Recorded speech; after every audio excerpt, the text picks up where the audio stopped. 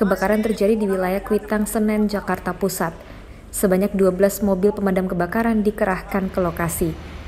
Menurut data Dinas Penanggulangan Kebakaran dan Penyelamatan DKI Jakarta, kebakaran terjadi pada pukul 5 lewat 30 subuh tadi. Api berawal dari sebuah rumah hunian di Jalan Kembang 5, RT 009 RW 002, Kelurahan Kuitang. Api berhasil dipadamkan pada pukul 9 lewat 12. Saat ini petugas pemadam kebakaran masih melakukan pendinginan di lokasi. Dari Jakarta, tim liputan melaporkan.